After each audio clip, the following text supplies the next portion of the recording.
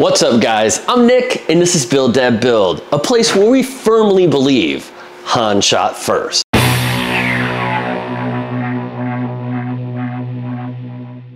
Okay guys, so check it out, check it out, check it out.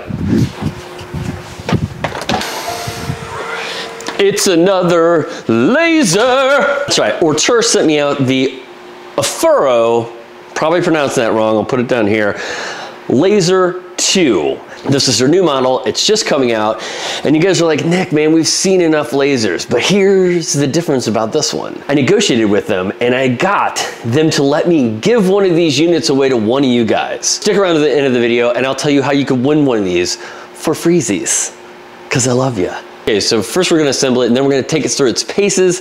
They've actually asked me to pit it up against the Xtool D1, uh, which is a 10 watt laser. I told them I really like the D1 and they want me to do it anyway. So I get this assembled, we will take them both through their paces and see what we think. Cool? Cool, baby, cool. All right, it is a little cold in the shop, so I'm wearing my Build Dad Build beanie. Check it out, woo! Hats and beanies are not available currently. Let me know if that's a merch item you guys would be interested in. Let me know in the comments down below. Okay, so let's get this guy out of the package.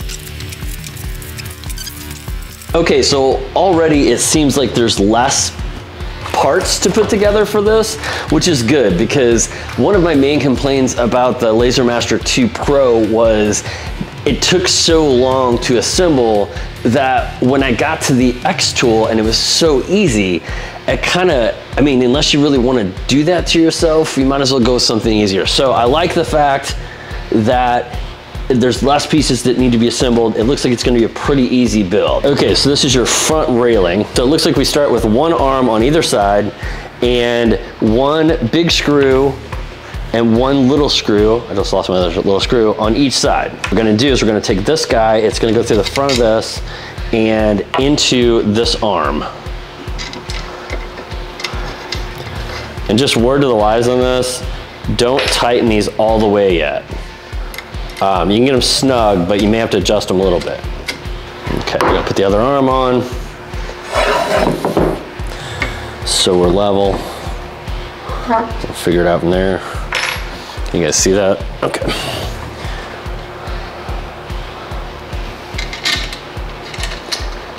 So once you have those two in, we're gonna come down here to the end, and this is where you're gonna use the little one. Put that guy right in here, tighten her up, and then we're gonna do the other, the same thing on the other side.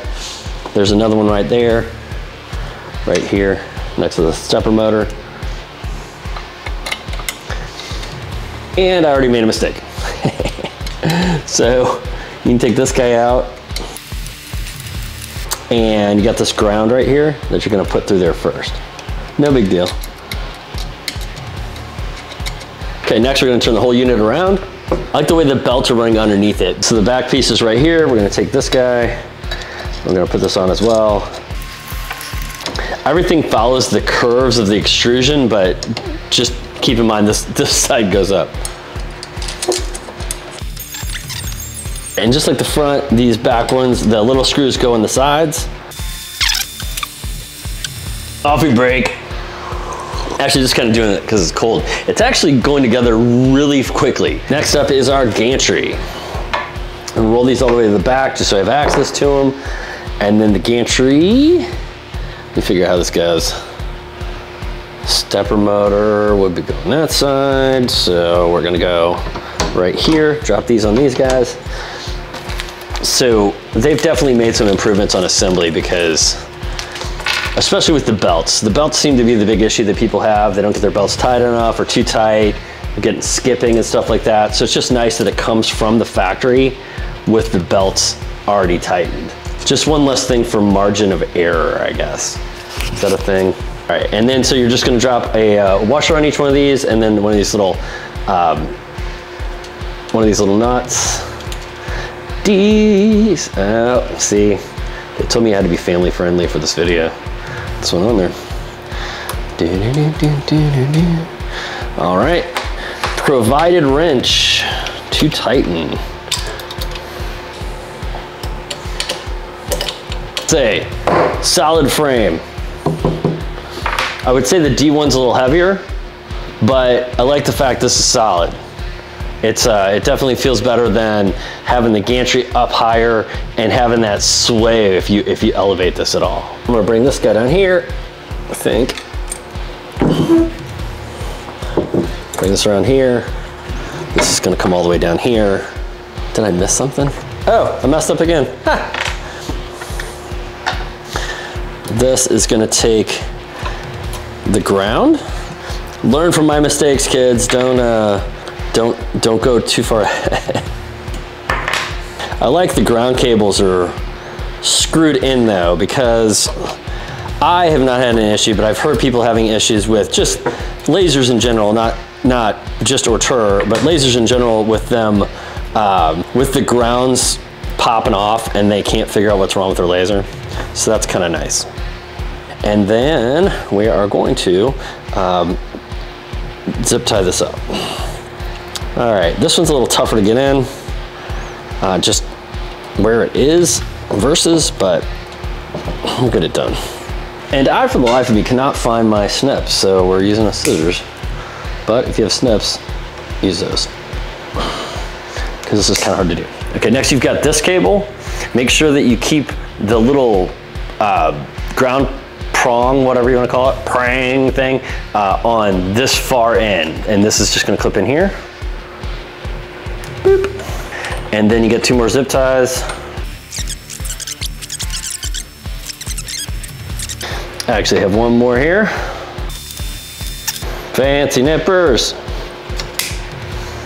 Okay, now we're gonna flip this guy over. Zoom you in here a little bit so you can see what we're doing. We're gonna secure this guy first. Through here, through here. So many jokes. I have so many jokes that I can't say. Done and nipped. Really bothers me, I can't find my cutters. And then we're just gonna slide on over here, slide to the left. Can you still see it? Nope, okay, here we go. Right there. This is the stepper motor that's on the opposite side from the control panel. And we're just gonna take this guy and plug him in right here. Almost there. Okay, let's flip this guy over. Okay, so you've got this guy right here and you've got this little, all right, so right here, can you see that? There's a little area to put this thumb screw in. If I can get it in there. This is what it says to do. Let's take one of these guys out, not out, but up and put the ground on that. So plug this in, put the ground here and screw this back down. All right, so you plug this in here and then you put this under this screw, which I can't hardly get it under there. Actually, here, let's put this under here so I'm not just tearing this up, right? And then you're gonna slide this on here like that. Tighten the thumb screw right there. Um, and we're good to go. Now let's uh, let's let's fire this thing up. Okay, let's go over quickly how to focus this thing. So you're gonna fire your laser hit your thumb screw, drop it down, lock it in, and then it's gonna be that close. One thing I've noticed so far is that the Aufero, Aufero, I still don't know if I'm pronouncing that right, is significantly quieter and the fan only comes on the laser when it's running, as opposed to the Xtool, which sounds like that all the time. So if that's something that is an issue for you, the Aufero is definitely quieter. Another thing to note, and I'll give Ortur my, my thoughts on this as well, is since I've had the LaserMaster 2 Pro set up on this computer, it's recognizing this as a LaserMaster 2 Pro even after I put the settings in for the uh, Aufero. So this unit doesn't need to home, the LaserMaster 2 Pro does need to home. So what it does is it tries to home when there's no limit switches and it'll, it'll kind of grind on you. So you may want to disable or turn off your LaserMaster 2 Pro profile in LightBurn prior to turning this unit on. I'm sure that's something they'll fix in the future. So a whole bunch of materials we'll go through in a second, but they did give it a couple of these like little two millimeter uh, pieces of wood. So we'll just go ahead and run a test run on the Aufero and see how, uh, see what we think. hot off the presses. Oh, by the way, all laser companies do this, just FYI. They send you a really cheap pair of laser shades. Invest in something better for your eyes, okay? Um, those are better than nothing, but these are much better than those. Like 40 bucks, I'll link them down below. I mean, there's a bunch of different kinds. I like these. What you can tell is when you look through the green, you can still kind of see the beam a little bit. When you look through these, you can't see it at all. So I like the fact that this whole side is, is covered up because you don't get that glare, especially when you're doing tumblers and stuff, it kind of fires out in different directions. And if you're sitting there, it could be kind of getting you from the side and you don't even know it. That is, ooh, well, that's upside down. All right, that looks pretty good. That is, that is 6,000 millimeters per minute at 75% power. Um, so what I'm gonna do is just take one of these guys over to the D1, we'll do the same test, and then we'll get into some other materials. So the xTool does have the crosshairs, which make it a little easier to line up, but you can't take this off. So when you come over here to this guy, when you're, if you take this off, you can see better, the only issue I have with this magnetic, which I really like actually, is that it's so close to the material that you can't take it on and off when the material's underneath it, or you risk touching your material and moving it after the fact. Okay, so same settings with the Xtool D1. Did use their software for that, but we still went 75% power. They measure in millimeters per second, so that was at 100 millimeters per second. So here's a side by side. Aside from the fact that I can't line up anything, um, they look pretty identical. The, the xTool, you can feel a little bit more of a ridge to it. Look pretty good. You tell me what you think. Which one's better? The fur's a little darker. I have to give it that. All right, so now I'm just gonna run some more materials through there and we will check out the results. All right, guys, at the beginning of this video, I told you that I didn't think the Aufero Laser 2 could compete with the Xtool D1. And man, was I wrong. The Aufero here has a little, has a little fight in her. Um, I, am, uh, I am pleasantly surprised with the outcome uh, that we have from both of these machines actually. But first, I wanted to go over a couple of what I like to call nerd facts or questions that you guys asked me uh, in the live stream when I was when I was checking this thing out. One of the first questions was, what is the wattage? The response I got was, the output is between 4.5 and 5.5 watts. So there are two different laser modules. There's the short focus, which is this one, and the long focus, okay? For people that don't understand the difference between the two, the long focus is marginally better at cutting than the short focus. It has been described to me as either slightly or marginally better. Just take that into consideration. Both modules are have a real luminous power of 4,500 to 5,500 milliwatts. MW is milliwatt, right? Fixed focus, we know that. The big questions I get is how big is the, uh, the bed? It is uh, 390 millimeters by 390 millimeters. I think that's like 15.4 inches. Okay, the next question, the biggest question is price. At the time of me making this video, I don't know. They haven't released a price yet. If I know that before this video goes live, I will put it right here.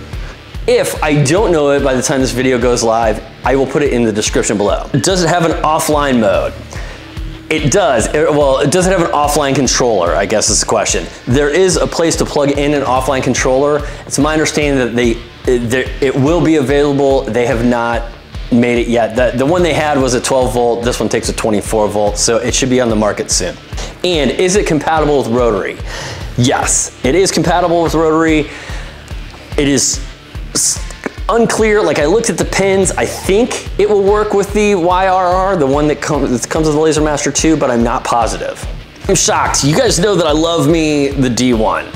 I really do. I like the way it's constructed. I like the way it looks. I'm surprised at the results. I really am. First, I'd like to say the Aufero Laser 2 is a modular design much like the Xtool D1, which makes putting together so much easier. Both of them take about 15 minutes, I would say, to, to put together, maybe 10 if you've done it before. So I'm gonna try to keep this Aufero on this side D1 on this side when I when I show you results. I'm gonna do kind of like a, a little bit more detail to see kind of how that looked. Uh, this is the Aufero, this is the D1. Now, if you look at them, they look pretty similar. The Aufero, again, is a little darker. Um, I think you could get that same thing with the D1 and adjusting the settings a little bit. The one thing I will say, the D1's a 10 watt laser, which we will talk about in a minute because I'm kind of surprised at how well the Aufero did considering that. But the difference here is that this is smooth, this has texture. Same settings. So the D1's burning a little hotter at those same settings. Next I did a burn on MDF, Aufero, D1. So as you can see, the material is going to make a difference too. Um, I never really burn on MDF, but same settings for both of these. Okay, in time for more nerd facts. Let's see, um, it is a 32-bit motherboard, which is uh, something that uh, I've had several people ask me if it's 32-bit. The stepper motors are NEMA 17. That doesn't mean anything to me, but you guys might, might know. One thing to note is it has two stepper motors on the x-axis, which is gonna give you a little bit more even travel back and forth, whereas the D1 only has one. Yes, I haven't really noticed an issue with it, but that is something I know a lot of people will upgrade their laser and put like an extra stepper motor on it to be more consistent. Out of the box, it does work with laser gerbil, LaserGRBL and uh, and LightBurn. I did have a couple issues setting it up, but I don't believe it has a profile yet for LightBurn. It's gonna be different for the Aufero than the Laser Master 2 Pro, is you do not need to home this device. The gantry is, is unlocked at all times. So you can really just move it wherever. Uh, I, I, know a lot of people are, they, they, they want to, they have to home their laser. And if you want to home your laser, then you probably want to look at something more like the Laser Master 2. So it does not have limit switches to tell it where it is in space. So you do have to be mindful of that. And before I would get to the good stuff, or the rest of the stuff, I guess, I just want to say thanks for watching this video. If you have any questions about the laser, either one of them for that matter, uh, leave it in the comments down below. If you like this video, hit that like button and if you haven't subscribed, subscribe so you can get more lasery goodness, guys. I also do woodworking and I pull out an occasional torch and burn things. It's all sorts of craziness around here. And an extra special thanks goes to my patrons. These guys are the ones that make the magic happen. They're the ones that keep me knee deep in lasers all the time, especially Stephen Mann, Eric Weiss, Derek Coates, Chuck Faulkner, Puffy Muffins, Jim Carter, Andy the Viking, and Dwight Smith. Cheers, guys. Back to the craziness, and don't forget to stay till the end of the video to find out how you can enter to win one of these guys yourself. Next up, we've got Thundercats. Ho! So here is the offer, and here is the D1. Pretty good, side by side. So I'm gonna do an engraving and a cut. So here's the offer, same settings, and here is a D1. So we did get a little burning on, this, on the D1. I don't know if that's a glue issue or what. Uh, it is plywood, and sometimes you have a problem with a little bit of burning on plywood. But pretty good results, like them. What I didn't expect the Refer to be able to do is cut. And man, was I wrong? Uh, this is the first surprise for me. This is six millimeter poplar. The D1 can do this, as demonstrated here. This piece that I'm holding in my hand is from the Aufero. So it can do it as well. That kind of, uh, that surprised me a bit. And as I was looking at this, just now, um, a little bit more burnout on the back of this from the D1 than the Aufero. Hmm, interesting. This is basswood. This is from the Aufero. I think this was a test, and then this is the D1. But check it out. Again, more burnout on the backs of the one from the D1 than the Aufero. So one of the big things that surprised me about the D1 was that, now this is, this basswood is 10 millimeters, okay? But have you ever had basswood in your hand? I mean, it's, it's, it's light, it's, it's, it sounds hollow. Um, and so I was really curious about pine because I had some pine laying around. And um, as you can see from up here, like here, uh, that is cut with the D1. Two passes. Two passes, 10 millimeter material, pretty impressive. This is from the Aufero. Now here's the only difference. Five passes. And that was a result that I expected. Actually, I honestly didn't expect the Aufero to go all the way through, but we are seeing like where that wattage kind of reaches its limit, right? So it's got to, it, it's gonna have to do more passes to get through material this thick. Most people I know don't do, you know, 10 mil material. They're doing like three to six. Okay, so which laser do I like more? I hate this question. The reason I hate this question is because there is a million different possibilities that would make the D1 better for you or the Aufero Laser 2 better for you. Well, let's put it this way. If you want to cut thicker material faster, the D1 would be the way to go, right? But I think some people get it in their head that they have to have that 10 watt laser, which was me too. You know, I wanted the 10 watt, but I don't cut 10 mil material very often. And it, unless you're cutting really small things, it, it's, it's not fast. Some of the things that it can do or you want it to do, like you need to know its limitations as well. It's a diode laser, it's gonna do diode laser stuff. Another thing you wanna take into consideration is, are you somebody that likes something that just is like plug and play out of the box or are you a tinkerer? The reason I say this because I know a lot of guys that have like maybe even old Laser Master 2 that they have upgraded with, you know, a new laser module, they've added stepper motors, like I said earlier, things like that. If you want to have that ability, then you will look at the Aufero Laser 2 because it is going to be upgradable that way. Currently, as I understand it, the Xtool D1 is just that. I don't think you can mount another laser on there that isn't an Xtool and things like that. So the answer to your question of which laser is better, you gotta find the better laser for you. I was just discussing in a laser group earlier today on Facebook and, and a very wise man said, there is no perfect laser out there. Every one of them is gonna have something you like, maybe something you don't like, and you just gotta make, you just gotta make a judgment call. And then to top that off, you know what? Six months down the road, another really cool laser is gonna come out. So look at this like buying a TV, right? You know, you're gonna buy what you need now and upgrade later. Okay, contest time. I know you've been waiting for it. Here's what you gotta do. You need to comment, yum, yum, gimme some in the comments down below. Make sure you're subscribed to my YouTube channel and my Instagram. This contest will run till the end of January. February 1st, I will pick a winner and we'll take it from there. Guys, I really appreciate you hanging out. Thanks for playing. And now I gotta get to work.